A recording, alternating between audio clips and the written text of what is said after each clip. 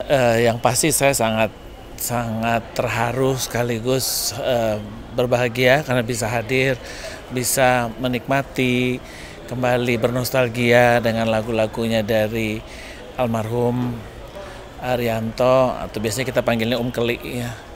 Um, ya sebagai seorang yang boleh dikategorikan legenda, uh, kita bisa bisa apa namanya uh, bisa menilai sendiri uh, lagu-lagu ciptaannya itu adalah lagu-lagu yang memang evergreen yang tidak lekang oleh zaman gitu ya.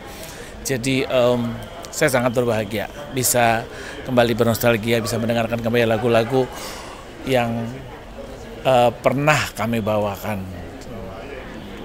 Itu saja.